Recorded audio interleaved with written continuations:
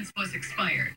Zsa Zsa says he kept her waiting in the hot car for a really long time, so she asked if she could go. And he says to me, "F- off.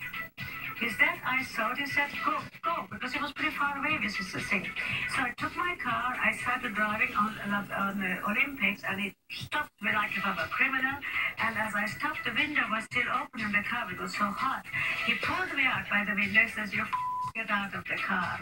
And as he pulled me, he hurt me so terribly much that it was my instinct. It was a reaction, or it was a self-defense. I hit him. I didn't do anything wrong. She says she was screaming in agony when Kramer handcuffed her with her arms behind her back, and then things I'm going to break both of your arms. He put me in the back. She took my both arms, handcuffed it behind me, but so strong I screamed, it hurts. He said, now I'm going to break your leg and kicked my leg with his boot or with, I don't know with what, because I was like that, I was hysterical.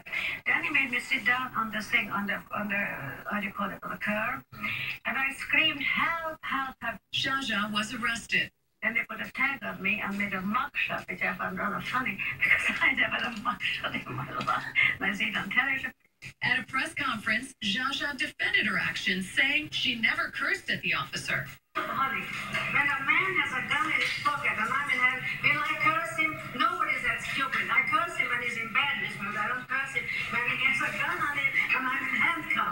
was charged with battery on a police officer, disobeying